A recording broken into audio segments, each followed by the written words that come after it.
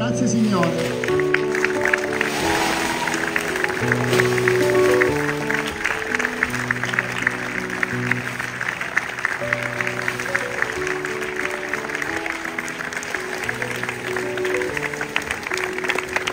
Noi lo stiamo vedendo con voi.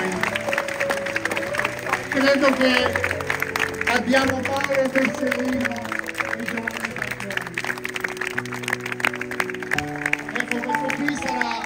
bene per la nostra cittadina.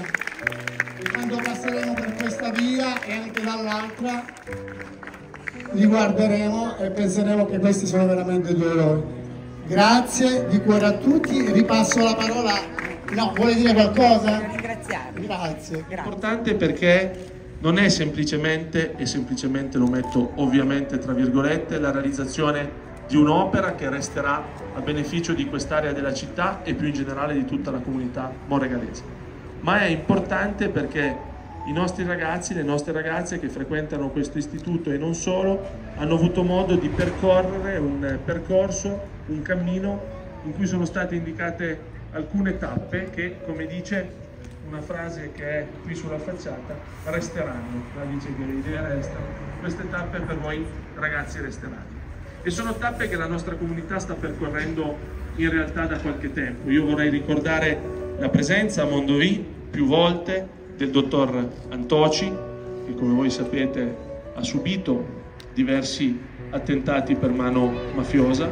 Vorrei ricordare il fatto che il dottor Antoci insieme al dottor Caselli, procuratore di Torino, ha consegnato ai nostri ragazzi e ai diciottenni la Costituzione, il testo più importante che è alla base della nostra comunità nazionale, del nostro convivere civile e vorrei ricordare in senso generale che c'è un impegno della nostra città in tanti suoi ambiti sul tema della lotta alla mafia. L'aula magna dell'Istituto Alberghiero è intitolata al giudice Borsellino, Gianni Scarpace che rappresenta parte della carta stampata della nostra città è stato insignito del premio Caponnetto qualche anno fa per, sua, per il suo impegno. Ma devo dire che in generale, e voglio ringraziare i giornalisti che sono qui presenti, queste tematiche hanno sempre rivestito e continueranno a rivestire per la nostra comunità eh, estrema importanza. Abbiamo voluto fare anche di questo momento di incontro con l'associazione Luca Artigiani, che naturalmente ringraziamo, ecco, fare di questo momento un momento di crescita per i nostri ragazzi. Quindi la tecnologia ci ha offerto questa opportunità proprio di conoscere motivazioni, lavoro, tecniche, scelte, scelte anche di vita, perché i nostri artigiani imbianchini, come am amano definirsi, hanno lasciato le loro famiglie per restare qui con noi. Noi dobbiamo passare di qui al mattino, e magari ci viene spontaneo no? guardare il cellulare, chissà, invece alzare la testa e portare dentro di noi quello che ci è rimasto, quello che un pochino abbiamo maturato. È un tema a me caro ragazzi perché quando avevo la vostra età in strada in Sicilia si sparava. Quando sono cresciuto, non sono cresciuto in un ambiente così. Il mio compagno di banco sta al 41 bis. La scelta si faceva già a scuola. La scuola ha detto Antonino Caponnetto, famoso giudice che comandava il pool di Falcone e Borsellino, ha detto che la mafia teme più la scuola della magistratura. Ed è la verità perché la legalità in prima battuta nasce nella scuola.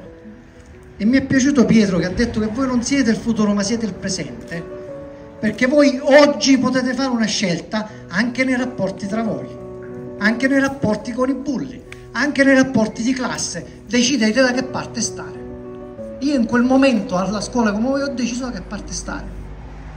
Nel 92, non voglio essere lungo però dai, perché poi questi argomenti mi toccano personalmente. Nel 92, quando ci sono state le stragi, facevo l'ultimo anno al liceo. Mi iscrivo in giurisprudenza per dare il mio contributo alla lotta alla mafia per fare il commissario polizia. E nove anni di permanenza in Sicilia Col presidente Antoci abbiamo fatto più di 200 arresti per mafia, sequestri di beni per 5 miliardi di euro alle associazioni mafiose. Quindi abbiamo colpito il sistema.